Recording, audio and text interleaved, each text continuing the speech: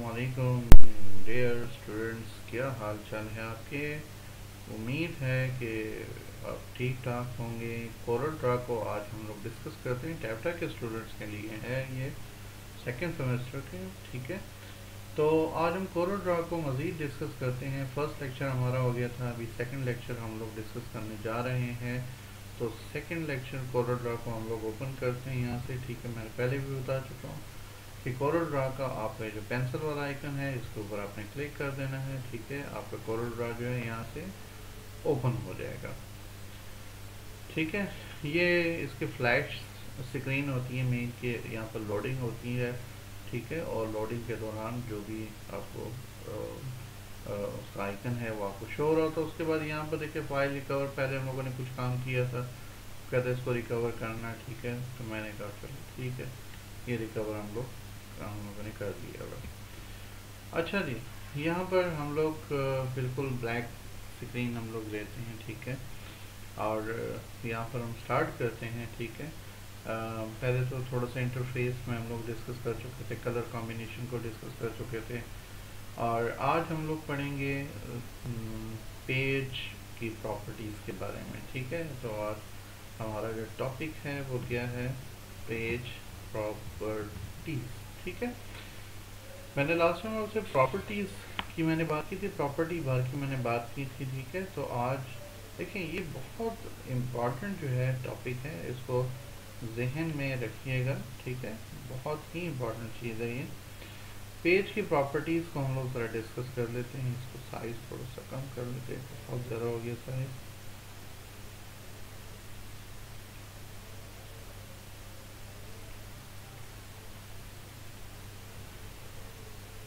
जी।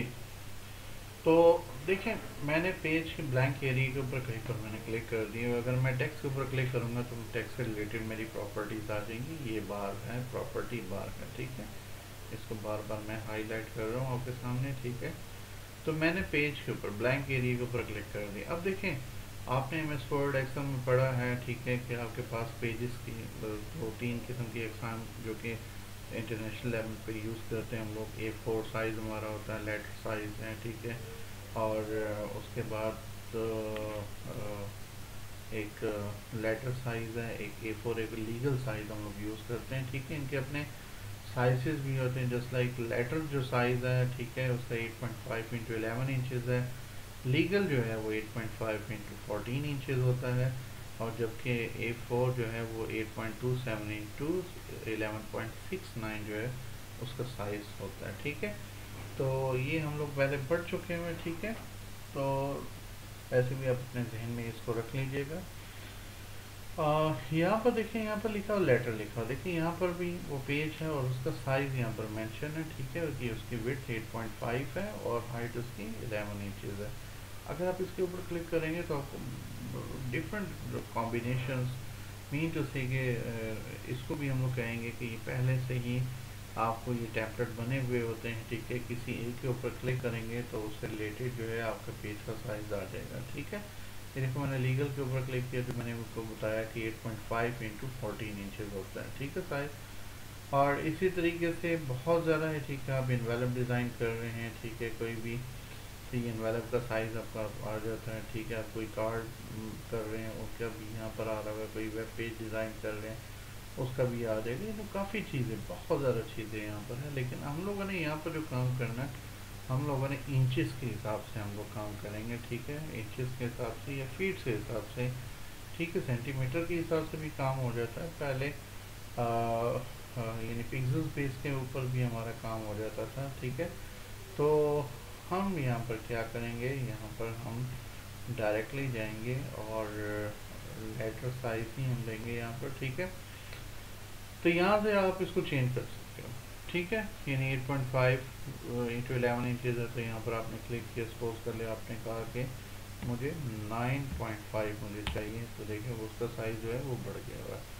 आप कहते हैं मुझे जो हाइट है वो 10 मुझे चाहिए, ठीक है? तो आपने यहाँ पर 10 कर दिया। ये आपकी हाइट आ गई। ठीक है, उसके बाद यहाँ पर उसकी है ओरिएंटेशन है, ठीक है, दो किस्म की ओरिएंटेशन होती है, ये भी हमारी बेसिक चीज़ है। लैंडस्केप पोर्ट्रेट है, ठीक है लैंडस्केप करोगे तो चौड़ाई में आ जाएगा पोर्ट्रेट करोगे, लंबाई में आ जाता है, ठीक है। इसको भी डिस्कस करते हैं, ठीक है। ये देखा आपकी यूनिट्स अभी मैंने आपको बात बताई कि बाय डिफ़ॉल्ट आपका यूनिट है, वो इंचज़ में आ रहा होता है, ठीक है। तो हम लोग यहाँ पर, हमारे पास देखिए, बहुत ज़्यादा यहाँ पर आ रहे हैं, ठीक है, kilometre metre centimetre miles year feet ठीक है, उसके बाद पिक्सल्स है, उसके बाद इंचेस मिलीमीटर सो काफ़ी चीज़ें यहाँ पर। तो हम लोग यहाँ पर इंचेस के ऊपर हम लोग पे कर देते हैं। उसके बाद नेक्स्ट अगर देखें आपको, इसको हम लोग बोलते हैं नज ऑफ़ सेट बोलते हैं, ठीक है? नज ऑफ़ सेट बेसिकली क्या है कि ये दो आपके जो ऑब्जेक्ट्स होते हैं, उनके दरमियान स्पेस होती है, ठीक है? अब देखें ये आपका एक ऑब्जेक्ट है, ठीक है, इसको मैंने यहाँ क्लिक किया, मैंने और उसके बाद मैं क्या करता हूँ, ठीक है, और इसको कंट्रोल डी में करता हूँ तो यहाँ पर देखिए आपकी एक स्पेस जो है वो क्रिएट हो रही है, ठीक है, ये नज ऑफसेट है। यानी ये दो, अगर एक ऑब्जेक्ट है, अगर आप उसको डुप्लीकेट कॉपी बनाते हैं और उसकी दूसरी मौत तो वो कितने फासले पर उससे रहे, ठीक है और किन डायरेक्शन में जाए? वो डायरेक्शन यहाँ पर आपके पास है एक्स और वाई है, ठीक है? ये भी आप चेंज कर सकते हो, ठीक है? मैं नज ऑफ़ सेट को थोड़ा सा छेड़ लेता हूँ, ठीक है?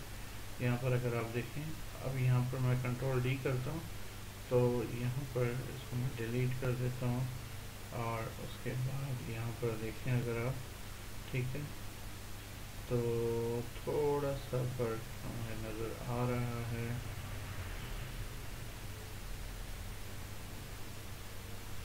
ये देखिए तो समझ आ गई बात आपको? ठीक है?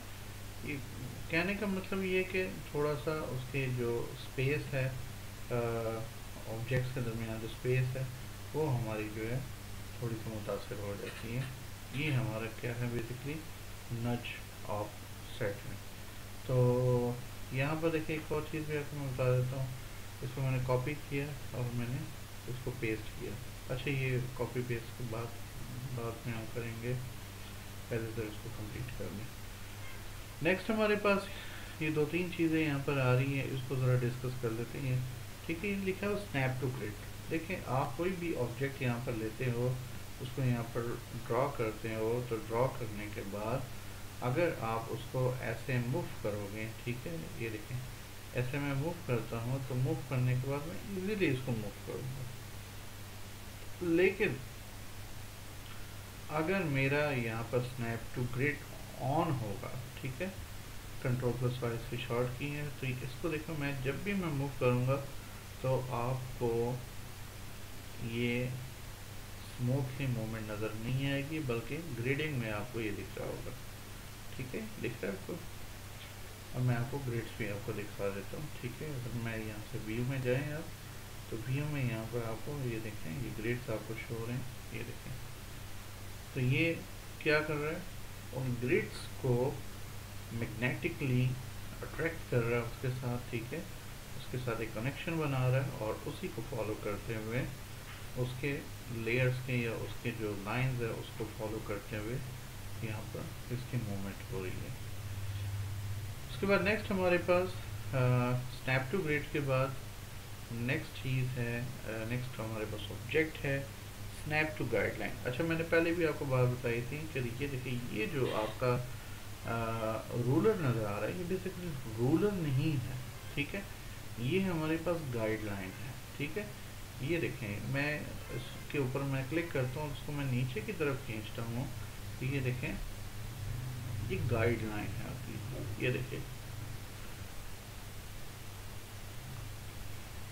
कहीं पर हम लोगों ने कोई ऑब्जेक्ट बनाना हो ठीक है नहीं हम लोगों से सही तरीके से बन पा रहा तो फिर हम लोग लाइन लगा के ठीक है और उसके थ्रू। अब देखें ये मेरा ऑब्जेक्ट है मैं इसको यहाँ पर लेकर आना चाह रहा हूँ लेकिन नहीं हो रहा। क्यों नहीं हो रहा?